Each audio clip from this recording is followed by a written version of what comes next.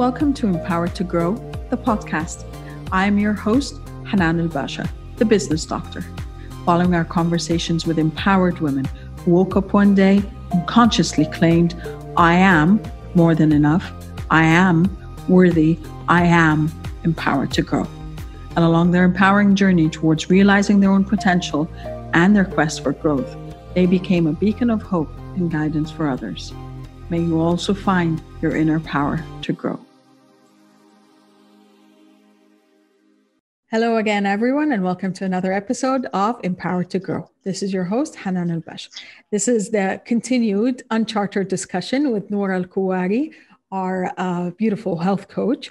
And we had touched on some on an issue in our first episode that we wanted to kind of uh, discuss a bit further. And it's about body image and it's about um, expectations, but more importantly and more specifically, it is about the expectations of um, ladies who just gave birth, who are anticipated and pressured by society to regain a certain weight that might not be it's not just about being realistic or not might not even be healthy for them and the time frames that people start talking about. And i think Noora i mean you you touched on your personal experience with that same with me. It was it's always that it's always that pressure and that pressure is mostly mm. a very unhealthy pressure for someone going through such a turmoil of hormone changes and body changes going through that process of pregnancy and birth. True. So, what are your ideas of it? And, and I know that you support women in that sense because of what you had to endure yourself. So, what is it for you what does it really mean? And and how are things or some things that we can start shifting in our mindsets towards that approach? Well i've i've seen so many uh, women suffer after just like few days after giving birth and start asking me whether they're like friends or relatives on how to start losing weight. Mm-hmm and it really bothers me to see them in that mindset while they should be just nurturing their newborn and just figuring out because it's it's usually a new thing to do. Even if you have other children it's different every time. True. and it's overwhelming every time. You cannot like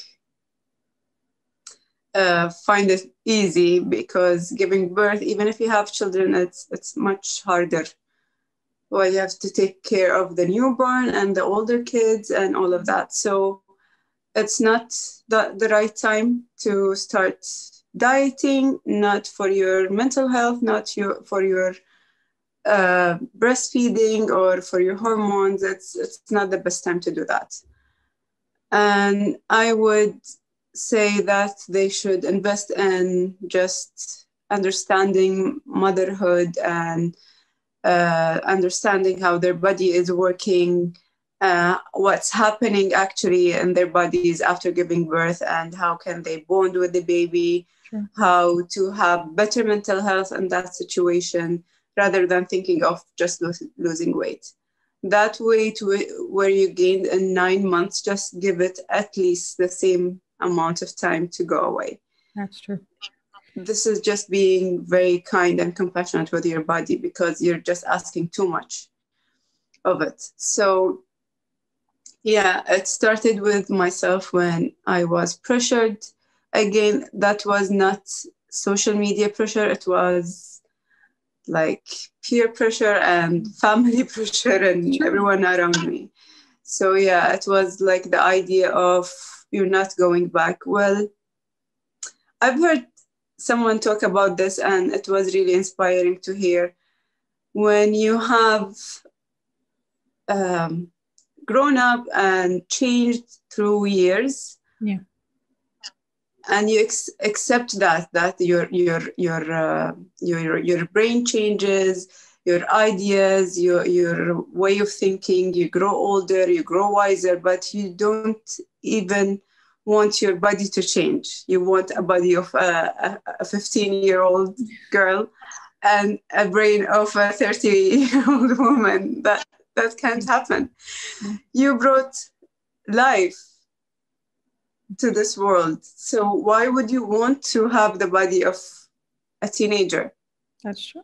You should accept that your body is changing when you when you embrace these choices. That's why when you choose to have a baby, you have to choose it very wisely and and you have to be aware about that choice and what comes with that choice. I, I think mainly it's the unaware choice that makes us don't want to live in this body that have this choice without our consent maybe I think. so this is Sorry, go ahead. yeah i think this is kind of denial or just refusing the idea that becoming a mother comes with this body But I think there's also the part, as you said, there's there is the there is the, the pressure from from those around you, from the family, because of false expectations. Hmm. It's like they're always trying to say you need to to oppose the the image, and Yeah. there is there is media and there is social media that keeps hmm. telling you that putting negative connotations to a, mo- a, a body of a mother. So even like if we say um, what we say pop culture and those kind of Yeah. terms that we use as a joke, it's like oh these are so mommy jeans. It's like what's Yeah. wrong with mommy jeans? You know, yeah It- there's always this kind of thing that fashion exactly that, that Yeah. even changing body shape is associated is immediately negatively associated with an image that you don't want. So you always have to be the slim tall model type to be able to say oh i'm not a mom. I don't need to have a body of a mom.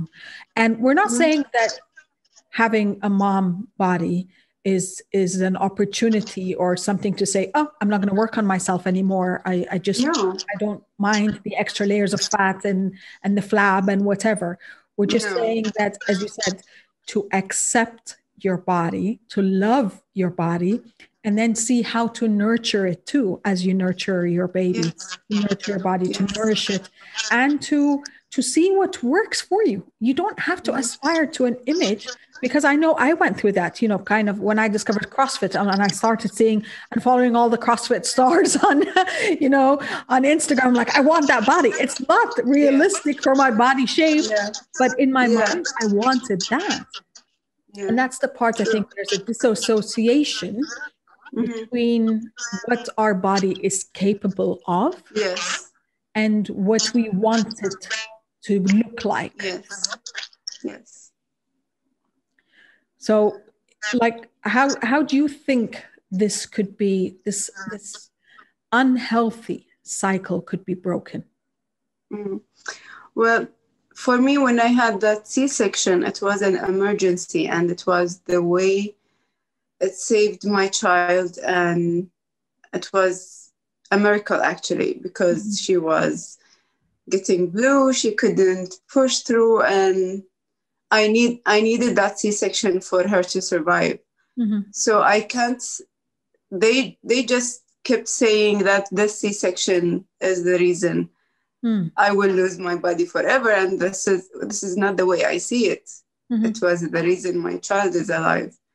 So we don't really appreciate what uh, science, medicine, or our bodies can do to keep us alive. We just keep telling our bodies that you're not doing enough. Yeah. So uh, I think the shift can be. Um, sorry, what was the question again? It's like how can we break this this cycle of of expectations of having to go right away to go back to a body that might not even have been ours to start with or an, an image that's not that and Yeah. nurturing ourselves and, and loving our bodies and then Well, it starts with us. yeah, it starts with st- shifting the the mindset. Mhm. It starts in your head before it starts with actions. yes So first of all, I would say it starts with choosing the right goal, and it it shouldn't be body or like size oriented. It should be health oriented. So you just gave birth, you have to know that your body have been through a lot for the past nine months, and you have for the coming two years to nurture a child. Yeah. Whether it's by uh, breastfeeding, staying up late, all of that. Yeah. So you just have to focus to be healthy, first of all. Sure. And this time of your life, losing weight is not a priority. It will come with time, but not right after giving birth. Yeah. Because it's been a shock for your body. Your hormones is all over the place. So you just have to focus on uh, a health oriented goal. Second of all, just give yourself a very realistic weight loss plan. Yeah. Just cut yourself slack and wait for a while. I'm not saying that you can eat whatever you want or like eat all the food you want. Yeah but at least it's not time to have or deprive yourself of any kind of food. Yeah. Just eat healthy, wholesome food, clean food, cheat every now and then, but that's it. yeah. yeah, it's it's not the time to like cut off carbs or cut off sugar. This is what I hear most of uh, women doing that they cut off carbs. You need carbs you need carbs in order to to have enough milk and like the the quality of the, the, the breast milk is different when you're just cutting off sugar and carbs. Mm. So for at least a year, just don't put any pressure on losing weight and focus on your health and how to nurture your baby and how to bond with that baby and to have a healthy relationship with the baby not and not and a healthy relationship with your body and not to hate on it yes. or uh, yes. yeah this is really important because and you have to to see and if you are like into social media and and you like to be motivated just follow people who are like really real people yeah people just like us not models because mm. that can give you a real insight and sometimes yeah you need to see people who have flappy skin and stretch marks just to in order to feel that you are normal and that's mommy body as you said yeah. and this is what comes with having a baby and it's not just bodies actually it's it's it's just real bodies it's not yeah. photoshopped. It is life. I started getting stretch marks when when I was going through puberty. So 13, yeah, 13 years old. So it's not about that, you know, I, I became very overweight. It's just that that's how my body and my skin stretched. And it's okay. But I spent a good 30 plus years hating that about me. It's like, oh, what's wrong with me? Why is my skin all like this? It's nothing. Yeah. It's just the nature of my skin. Are there ways to to help it stretch in a way that is healthy? Sure, there are ways to nourish my body in that way, but it is not a reason, as you said, to hate on my body. And I think that is the part that we really need to keep talking about, keep keep hammering in, because the more we have a hate relationship with our body, the more we have a dislike relationship with our body, the more that we will actually be depriving our body of what nourishes it. And that in itself has a lot more of a negative impact than just aiming for a body that is not realistic. So I think we can we can spend a few hours talking about this and yeah. we're barely scratching the surface. But um, thank you for for advocating for for self love and body love and for um, reestablishing a relationship with our our um, food in a way that nourishes, especially um, birthing moms who who need all the love that they can because they need to be full of love to love themselves to love their their babies to love everyone around them to be able to counter the effects of everything their body had to go through. Thank you, Noora, for this discussion. And uh, hopefully we'll have a lot more discussions of the same topic. Thank you, Hanan, for having me. I really enjoyed my time. my first podcast. oh, really? Oh, I didn't know that. Yeah, okay. Well, I assure you it's not going to be your last. thank you so much. Thank you. Well, thank you for being here.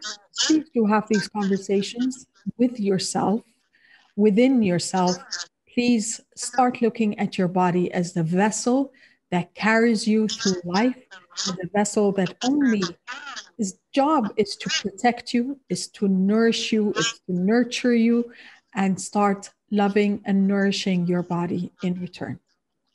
And remember, empowered you empowers others. Love, abundance, and prosperity to you all. Thank you for listening to the Empowered to Grow podcast. For further engagement with a tribe of empowered women, join my Facebook group, Empowered to Grow, or visit my website, www.hananelbasha.com. I'll catch you on the next episode, and until then, know that empowered you empowers others. Love, abundance, and prosperity to you all.